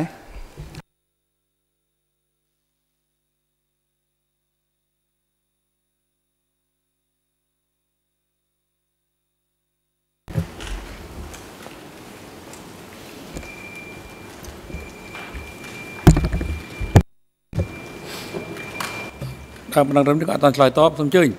លោកមេធាវីបេតើកូប៉េ Um, thank you, មេ Mr. ធាវីកូ President. ពេ Um, កូពេសូមអរគុណលោកប្រធាន we've been hearing now for យើ almost ង55 minutes បាន very ស្ detailed ដាប់ជិត evidence. 50 I'm 55 looking នា at the ទី clock. ហើ I យ know there's one ហើយ civil ខ្ញុំ party មើល still នា on ฬิកាទៅគឺ schedule. ថាដើម Are we now supposed ដំ to រដ្ឋបព្វនេះនៅតែមិនទាន់ ask questions in the next 10 minutes to be បាន able នៅសល់ម្ to នាក់ទៀត counter នៅ a little ឡើយ bit or a, a piece of this evidence? អឺហើយដោយសារតែការសួរយកផុសតាងតែមួយចំណុច There, there's th- th- this តូច civil តែប៉ុណ្ណោះ parties តាមដំ testified រ to ត់ប so ព្វនេះ many uh, បាន different things.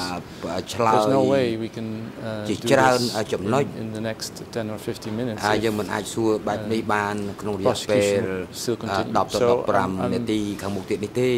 Um, I'm at a loss here. You've been ឥឡូវនេះខ្ញុំហាក់ uh, ដូចជាវង្វេង instructing, បន្តិច I ហើយ think, for អង្គជំ seven នុំជ times ម្រះ now បាន uh, អឺណែ civil party lawyers ណែនាំ and the ចំនួន7 prosecution to ដង focus ហើយទៅ only ដល់ on, uh, មេធាវីដើមដំរដ្ឋប suffering ព្វនេះ and សហប្រញ្ញាឲ្យ But ដោត we've តែ been ទៅ hearing លើ uh, ផលប៉ះពាល់ almost always detailed អឺ evidence. ទៅលើជនរងគ្រោះ And, ក៏ប៉ុន្តែ uh, បែរទៅ if you សួរលម្អិតដើម្បីអឺ Only ស្ will វែង allow us now 10, រកផុស10តាង or ទៅ15វិញ minutes. We might as well not answer, uh, ask any questions. So អឺដូច្នេះក្នុងរយៈពេល Um, 10ទៅ15នាទីមិនគួរសួរសំណួរបែបនេះតទៅទៀតទេ I think again this is ដូ not ច្ the នេះខ្ញុំគិត appropriate ឃើញ way ថា of នេះមិនមែនជា proceeding អឺ uh, វិ in ធី this មួយ matter. ដែលសមស្របនៅក្នុងកិច្ចដំណើរការនីតិវិធីបែបនេះនោះទេសូមជម្រាបលោកប្រធាននេះជាសំណួរចុងក្រោយបំផុតរបស់ខ្ញុំនៅក្រោយពេលគាត់ឆ្លើយសំណួរនេះចប់គឺខ្ញុំអស់សំណួរបាទ បាទសូមអញ្ជើញបាទខ្ញុំសូមរំលឹកសំណួរឡើងវិញថាតើអឺអ្វីដែលខ្ញុំលើកឡើងអំបញ្ញមិញនេះតើការស្អប់នឹងគុំគួនហ្នឹងយ៉ាងដូចម្ដេចដែរមានន័យថាម៉េចគុំគួនហើយនឹងស្អប់ហ្នឹងបាទ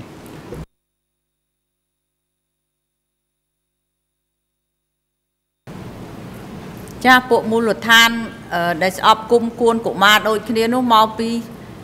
ពួកខ្ញុំជាអ្នកថ្មីហ្នឹងចូលកាលពី 73 74ហ្នឹងអឺពួកនាងខ្ញុំអ្នកថ្មីហ្នឹងមានអ្នកខ្លះកូននាយទាហានជាន់ខ្ពស់អញ្ចឹងទៅអ្នកខ្លះកូនមេឃុំអញ្ចឹងទៅដល់ទៅពេលពួកខ្ញុំបែកទៅចូលជាមួយពួកចាស់ឆ្នាំ1975ហ្នឹងពួកវាឆ្អប់ខ្ពើមពួកខ្ញុំថាពួកខ្ញុំហ្នឹងពួកមីថ្មីសុតមីថ្មុតស័យ ឃើញពួកខ្ញុំហ្នឹងគឺវាឃើញមិនបានទេឃើញវាឆ្អប់គុំគួនវាថាឲ្យតែមានកំហុសអីបន្តិចវានឹងចាប់វាយធ្វើបាបហើយខ្ញុំបានអស់សំណួរលោកប្រធានបាទអរគុណជាបន្តនេះផ្ដល់វេទិកាជូនទៅក្រុមមេធាវីការពីក្តីលោកនួនជា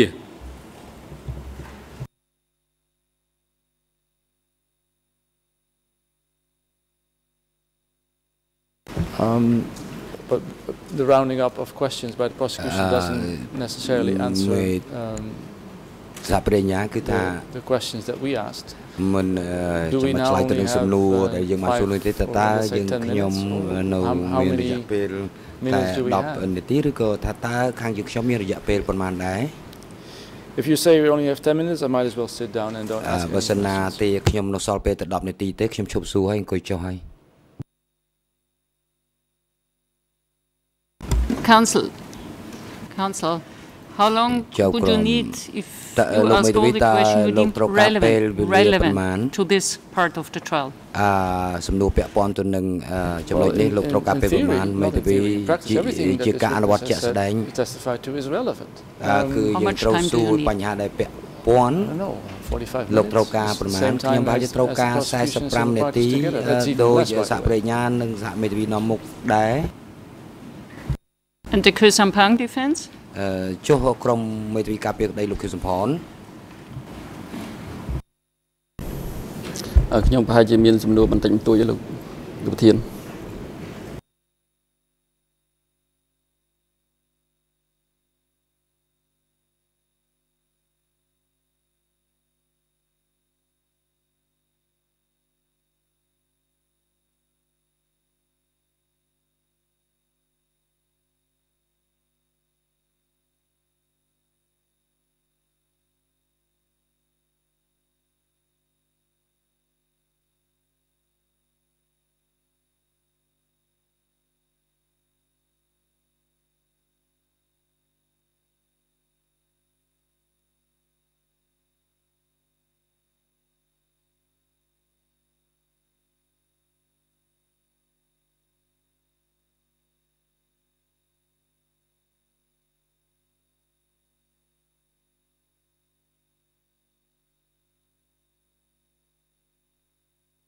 បាទអង្គជំរះសម្រាប់ឲ្យផ្ដល់ពេល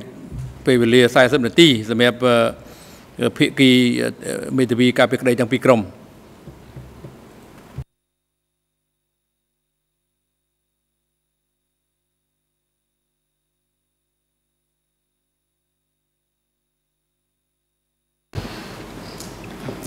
Thank you, Mr. President. បាទសូមអរគុណលោក Good afternoon, uh, Madam Civil Party. I ជំ have រាប um, សួរលោកស្រីដើម a number of ម្ដងរដ្ឋ questions ប to វេ ask នីខ្ញុំមាន uh, សំណួរមួយ to ចំ you. នួនសួរទៅកាន់ First, I លោក would ស្រី like to ask you some Double more Kim details Som about Su your Lut At uh, Ampi unit chief. You said that her Mekong name wasរបស់លោក um, Saru. លោក What និយាយ else ថា can you មេក tell ង us របស់ about លោក her? ស្រីនេះលោកស្រីនិយាយថាមេកងរបស់លោកស្រីឈ្មោះសាវរុន ចាមេកងរបស់ខ្ញុំមិនមែនឈ្មោះសារុនទេឈ្មោះសារ៉ូ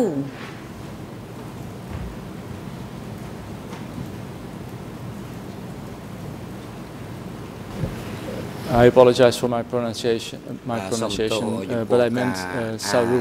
អំណាចរបស់ខ្ញុំបា Uh, ទ can you tell សា us រូ some more about um, this តើលោក unit ស្រី chief? អាចនិយាយរៀបរាប់លម្អិតបន្តិចបានទេអំពីមេកងរបស់លោកស្រីរូបនេះចាមេកងរបស់ខ្ញុំឈ្មោះសារ៉ូនោះបង្ខំឲ្យធ្វើការគ្មានទាំងយប់ទាំងថ្ងៃ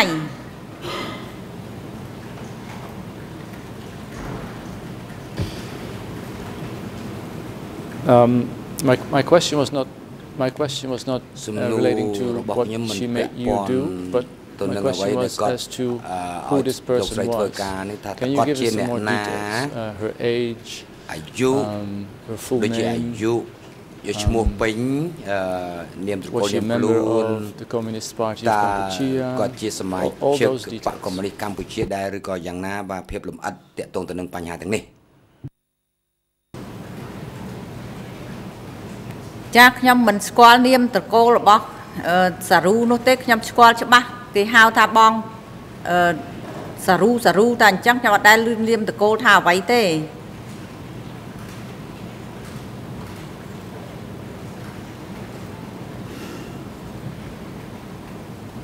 How old was she? អឺតើគាត់មានអាយុប៉ុន្មានដែរ ចាក្នុងពេលនោះខ្ញុំក៏អត់ដឹងថាគាត់អាយុប៉ុន្មានដែរ A- approximately. អឺស្មានស្មានមកលោកស្រីក្នុងពេលនោះមានអាយុប្រហែលប៉ុន្មានឆ្នាំដែរបើតាមតែខ្ញុំឆ្មានគាត់មានអាយុប្រហែលជា54ទៅ55ឆ្នាំមកដល់ឥឡូវនេះ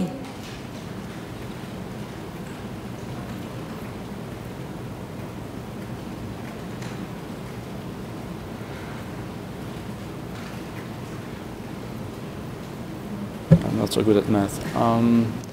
អឺខ្ញុំមិន uh, would she ប្រ be កែទេខាងលេខនិពន្ធអឺពិបាកដក 15, 20 at the time? នៅពេលនោះតើមេកនអាយុប្រហែលជា15ឆ្នាំឬក៏អាយុប្រហែលជា20ឆ្នាំកាលពីសម័យនោះគាត់ប្រហែលជាអាយុ15ឆ្នាំតែប៉ុណ្ណោះ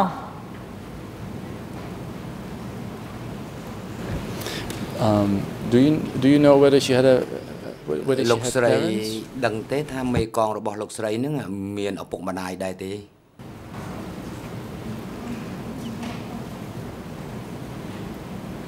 ចាគាត់មានឪពុកម្ដាយ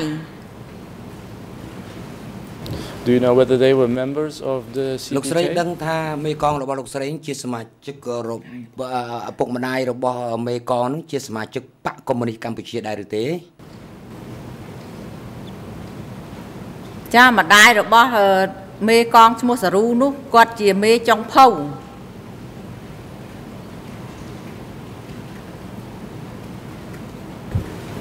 Have you ever seen uh, Saru speak to លោកស្រី other ធ្លាប់ដែលឃើញសារូនេះនិយាយ or ទៅ CPK កាន់ cadres កម្មាភិបាលខ្មែរក្រហមឬកម្មាភិបាលបកកុម្មុយនីសកម្ពុជាណាម្នាក់ដែរទេចាខ្ញុំរវល់តែធ្វើការមិនបានឃើញ សារ៉ូនេះទៅនិយាយទេ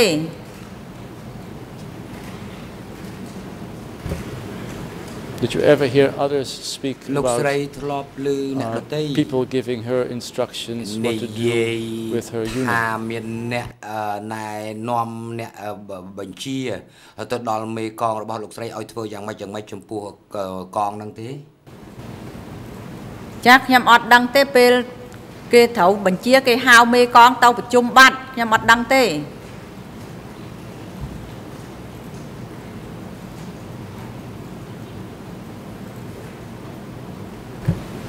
Did you ever see other Khmer Rouge លោកស្រី cadres ធ្លាប់ដែលឃើញកម្មា um, ភិបាលខ្មែរក្រហមដទៃទៀត in the company of អឺ uh, នៅក្នុង Saru កងសារូ when you were at work? អឺនៅពេលដែលលោកស្រីធ្វើការនៅនឹងដែលឃើញមានកម្មាភិបាលដទៃទៀតនៅជាមួយទេ ចាមានមានឈ្មោះសារ៉ែមជាប្រធានលើសារ៉ូនឹងទៀត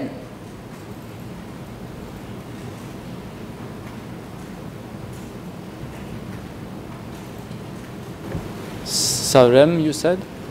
អឺតើឈ្មោះ And- សារ៉ែន and who was Sarem? អញ្ចឹងឬហើយតើបើឈ្មោះសារ៉ែនហ្នឹងតើសារ៉ែនហ្នឹងជាអ្នកណា Sarem. សារ៉ែមនឹងជាប្រធានលើមេលើសារ៉ូនឹងទៀតហើយប្រធានកុមារទាំងអស់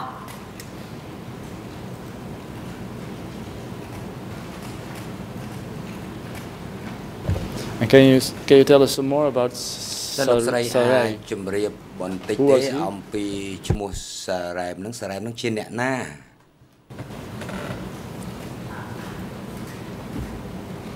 សារ៉ែមនឹងជាប្រធានខ្ញុំដឹងថាត្រឹមជាប្រធានអ្នកមកជាប្រធានក្តាប់កុមារទាំងអស់កុមារទាំងអស់ចំនួន200នាក់សារ៉ូនឹងកាន់100នាក់ឈ្មោះមុំនោះកាន់100នាក់សារ៉ែមនឹងគេគ្រប់គ្រងលើកុមារទាំងអស់ហ្នឹងខ្ញុំដឹងតែត្រឹមប៉ុណ្ណឹង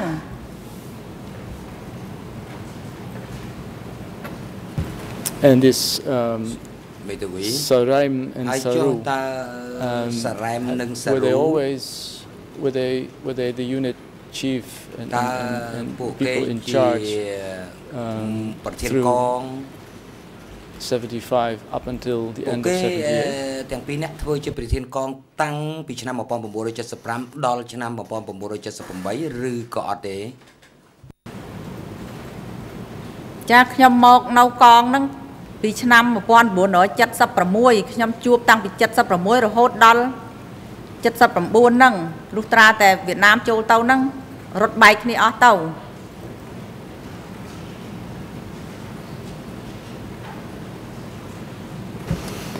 Um, you Maybe were telling us we- earlier about an លោកស្រី incident ជំរាបពីខាង um, ដើមអំពី that you were beaten. អឺរឿងរ៉ាវមួយគឺថាលោកស្រី Um, ត្រូវបាន can គេ you វាយ can ដំ you tell us a bit more about this, សូមលោកស្រី this ជំរាប incident? អង្គ When ជំនុំ exactly ជម្រះឲ្យបានលម្អិត or បន្តិចអំពី when, when ហេតុការ approximately ណ៍ did ហ្នឹង this happen? តើរឿងនេះអឺវាកើតឡើងនៅប្រហែលជាអំឡុងពេលណាដែរចាគេវាយធ្វើបាបខ្ញុំហ្នឹងឆ្នាំចុងឆ្នាំ77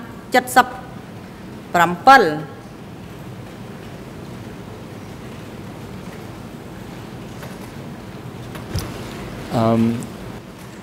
and មេធាវី was um, Saru តើ together with Saraim សារូនិងសា were, រ៉ែ were ម they present uh, when this happened? អឺមានវត្តមានទាំងអស់គ្នាឬនៅពេលដែលរឿងរ៉ាវហ្នឹងវាកើតឡើងចំពោះលោកស្រីហ្នឹងពេលដែលគេវាយធ្វើបាបខ្ញុំហ្នឹងសារ៉ូសារ៉ែមហ្នឹងគេបញ្ជាប្រាប់សារ៉ូហ្នឹងឲ្យមើលឈ្មោះខ្ញុំហ្នឹងនៅកន្លែងណាអីកន្លែងណាគេប្រើឲ្យសារ៉ែសារ៉ូហ្នឹងមក ចាប់ខ្ញុំហ្នឹងតាមដែលគេប្រាប់ហ្នឹងមកសារ៉ូហ្នឹងគេបញ្ជាឲ្យពួកមូលដ្ឋានមកចាប់ខ្ញុំតាមបំណងរបស់គេចង់ធ្វើ So when you were beaten, it was both Saru and Saraim who ដូ were ច្នេះ present. អ Is that ឺនៅ correct? ពេលដែលគេវាយដំលោកស្រីគឺថាទាំងសារូទាំងសារ៉ែមមានវត្តមាននៅទីនេះតើអញ្ចឹងមែនទេជួនក៏នៅជួនក៏មិននៅមិនមែនវាយដំតែម្ដងទេវាច្រើនដង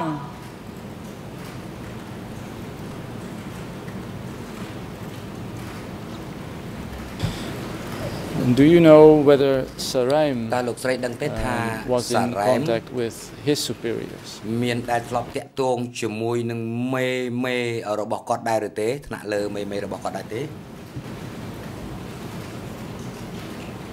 ចាខ្ញុំអត់ដែលដឹងទេ Do you know if Saru or មេធាវី Saraim were ever លោកស្រីដឹង punished ថា for សារ៊ូឬក៏ uh, សារ៉ែមហ្នឹង mistreating you ធ្លាប់ and others within the ត្រូវ unit? បានគេដាក់ទណ្ឌកម្មដោយសារតែគេការធ្វើការធ្វើដំលោកស្រីដែរទេចាស់អត់មានទេ How do you know? ហើយលោកស្រីដឹងថាគេមិនដែលដាក់ទណ្ឌកម្មអ្នកទាំងនោះលោកស្រីដឹងដោយរបៀបណាពីព្រោះខ្ញុំមិនដែលឃើញគេមានរងទរណកម្មអ្វីទាំងអស់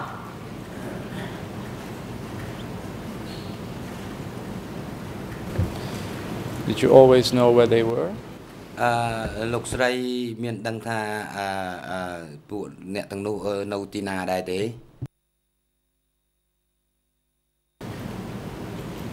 ចាស់ខ្ញុំដឹងសារ៉ូនៅភូមិសីមាឯសារ៉ែមនៅភូមិខ្នា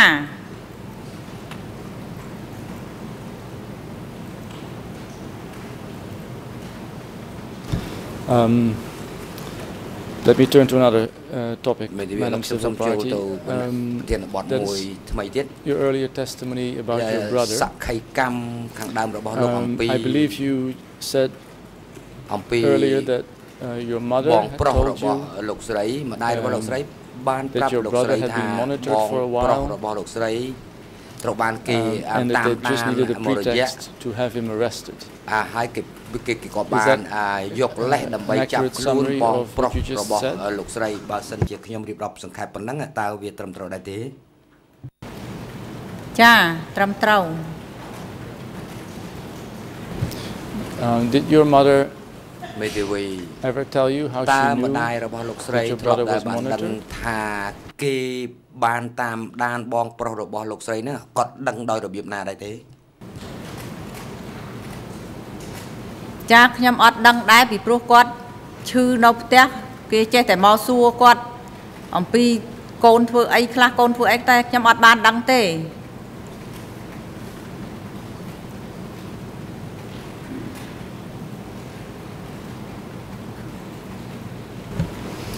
Um, do you know whether it was known មេធាវី within លោកស្រីដឹង uh, ថា the cooperative or, or the commune or the district តើនៅក្នុងសហគមន៍នៅក្នុង what the ក្នុង background ឃុំ was of your ឬ brother? អឺនៅក្នុងស្រុកត្មងគេដឹងអំពីប្រវត្តិរូបរបស់បងប្រុសអឺលោកស្រីអញ្ចឹងគ្រប់គ្រប់គ្នាដែរទេចាគេដឹងគេដឹងទាំងអស់គ្នាថាគាត់ជាទាហានលន់នល់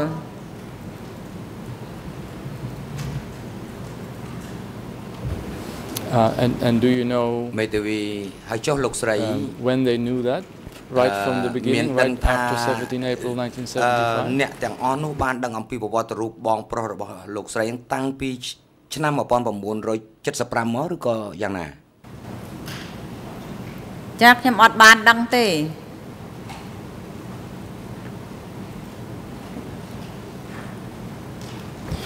Um, let me let me ask it a មេ different ធាវី way. ខ្ញុំ Did សូម they សួរ know តាម for quite រ a បៀបផ្ while សេងវិញ already តើគេបាន before he ដឹង was arrested អស់មួយ that រ he យៈកន្លង had មក been ហើយ a lone wolf ឬក៏អត់ទេមុននឹងគេចាប់ខ្លួនគាត់ដឹងថាគាត់ហ្នឹងគឺថាធ្វើជាទាហានលន់នល់គេបានដឹងហើយក៏ប៉ុន្តែ គេមកសួរអ្នកម្ដាយខ្ញុំអ្នកម្ដាយខ្ញុំគាត់ចេះតែលាក់គេស៊ើបសួរអ្នកចិត្តខាងទៀត តែខ្ញុំអត់បានដឹងថាគេមកសួរអ្វីអ្វីពីម្ដាយខ្ញុំខ្ញុំអត់បានដឹងទេទើបតែដល់ទៅពេលបងប្រុសខ្ញុំបាត់ខ្លួនទៅរហូតដល់ខ្ញុំធ្វើពាក្យបណ្ដឹងហើយទើបអ្នកម្ដាយខ្ញុំប្រាប់ថាគេមកស៊ើបការយូរហើយ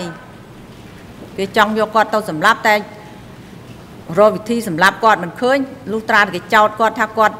ខុសសិលធម៌ចង្កត់ដៃស្រីអញ្ចឹងទៅបានគេយកទៅសម្លាប់បាន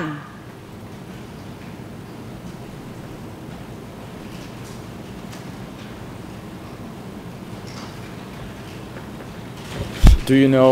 um, មេធាវីតើលោក whether he ស្រី had any ដឹង rank ថា within the Lone Nol នៅ Army, your brother? អឺនៅក្នុងអឺរបបលន់នល់ដែលគាត់ធ្វើជាទាហានលន់នល់គាត់មានបុណ្យស័ក្តិធំប៉ុណ្ណាទេ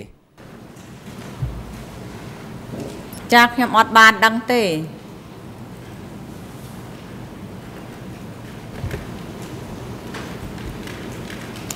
Um, Did you know what his មេធាវី activities were? What, what, what he had done in the Lone Nol Army? នៅក្នុងដល់ពេលដែលគាត់ធ្វើជាទាហានលន់នល់តើលោកស្រីដឹងថាគាត់មានធ្វើសកម្មភាពអីខ្លះទេចាខ្ញុំអត់ដឹងទេ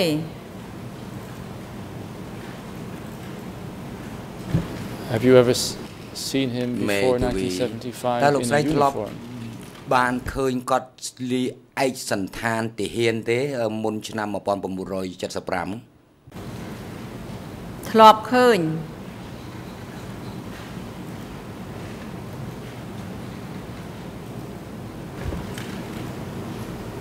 So there is no, uh, mis- May there's do no we- doubt as to ដូច្នេះមិន the មាន fact អី that គួ he រ was ឲ្យសង្ស័យ a, នោះ a, ទេ a ថា soldier within the គាត់ Lone Nol ពិត Army. ជា That is correct. ទាហានលន់នល់ Madam Civil Party តើត្រឹមត្រូវដែរទេចា Um, did you know មេធាវី if he told តើលោកស្រី the មាន local ដឹងទេ authorities ថា after គាត់មាន17 April បាន75ប្រាប់ទៅ in his អាជ្ញាធរមូលដ្ឋាន biography ក្រោយ that ថ្ងៃ he had been 12មេសា a lone wolf 75នៅពេលដែលគេធ្វើប្រវត្តិរូបថាគាត់ធ្វើជាទាហានលន់នល់តើគាត់មានប្រាប់ថាអញ្ចឹងទេចាគាត់អត់បានប្រាប់ទេ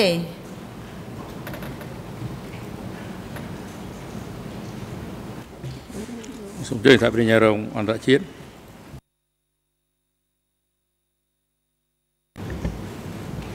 Merci. La réponse a déjà été donnée, Monsieur le Président. Mais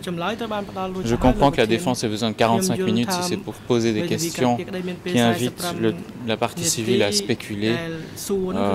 sur des choses qu'il ne savait sans doute pas parce qu'il avait 8 ans à l'époque. Je pense tout de même qu'il y, a- des limites à ne pas franchir. On a un temps limité. On a encore une autre partie civile. On a demandé à ce que les parties posent des questions pertinentes. Nous nous sommes limités à 10 minutes de questions.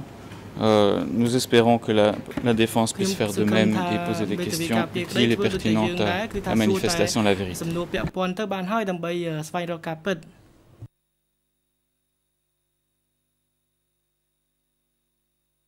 Um, if I may respond, Mr. President, I think these are uh, quite relevant questions because I heard her say that her brother had been monitored for a while um, and they needed a pretext to have him arrested. Um, this, this could indicate that um,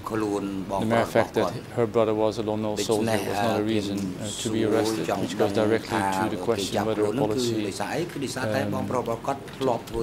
existed in relation to lone soldiers and officials. សារយើងនិយាយគ្នា Um, អំពី so, គោលនយោបាយពាក់ព័ន្ធទៅនឹងទាហាន And- លន់ and នល់ reiterating the fact that it was the prosecution and the civil parties who had 45 minutes អា of មិនមែន requesting ហេតុផល testimony,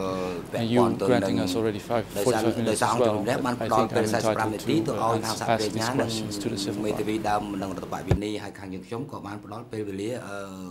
ប្រហែលគ្នានេះដែរ បាទអង្គជំរះបដិសេធដីជំទាស់សូមអញ្ជើញ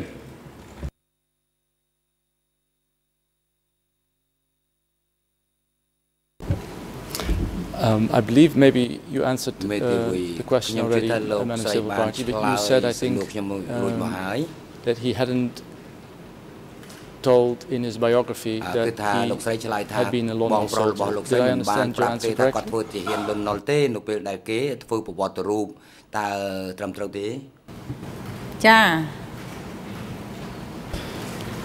Was it subsequently later May known do we- whether he had តើ served in វា the នៅពល army? Was that នៅ known ពេលក្រោយ with the ឬ local ក៏ authorities? ឬក៏យ៉ាងណាដែលទៅបអឺអាអាជ្ញាធរមូលដ្ឋានដឹងថាបងប្រុសរបស់លោកធ្វើជាទាហានលន់នល់ពេលក្រោយមកបានគេដឹងគេដឹងហ្នឹងដឹងដោយសាររយៈគេស៊ើបសួរបងប្អូនជីដូនមួយនិងអ្នកចិត្តខាងគេស៊ើបសួរដឹងហ្នឹង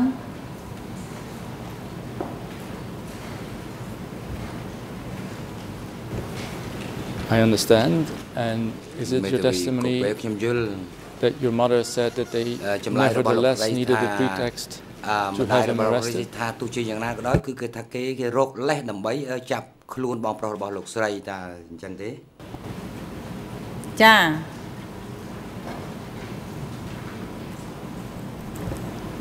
And and how did your mother មេ know ធាវីក៏ពេលហើយថាតើម្ដាយរបស់លោកស្រីនេះ simply having been a lone wolf soldier was not enough to be arrested អឺបានដឹងថាបើគ្រាន់តែធ្វើជាជាទាហានលន់នល់គឺថាมันអាចនាំឲ្យគេចាប់ខ្លួនអញ្ចឹងទេគាត់មានដឹងអំពីមូលហេតុអញ្ចឹងឬក៏អត់ទេគាត់អត់បានដឹងទេ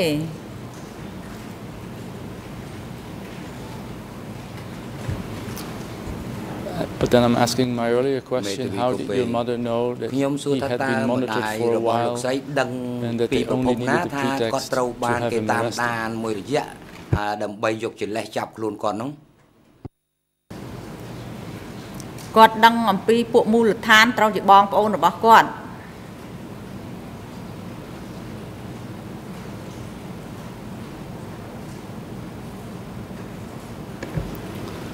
Um, I'm looking at the clock, uh, Mr. President. It's ខ្ញុំមើលទៅនាឡិកាទៅលុកប្រធានដល់ម៉ោងសម្រាប់ហើយឬក៏អនុញ្ញាតឲ្យខ្ញុំសួរបន្តទៀតបាទឥឡូវនេះដល់ម៉ោងសម្រាប់ហើយអំពីប្រកាសសម្រាប់ចាប់ពីពេលនេះទៅទៅរហូតដល់ម៉ោង3សូមអញ្ជើញចូលវិញមន្ត្រីរដ្ឋបាលតុលាការសម្របរួលផ្ដល់កន្លែងសម្រាប់នៅបន្ទប់រងចាំសម្រាប់សាក់សីនិងអ្នកជំនាញដល់ដើមម្ដងរដ្ឋបនីរូបនេះនៅក្នុងឡុងពេលជប់សម្រាប់ឲ្យអញ្ជើញគាត់រួមទាំង មន្ត្រីអង្គការ TVO មកកាន់កន្លែងដែលគាត់ថ្លែងរៀបរាប់ទុកសពវេទនានេះនៅក្នុងបន្ទប់សាបនាការនេះនៅវេលាម៉ោង3សម្រាប់ចុះ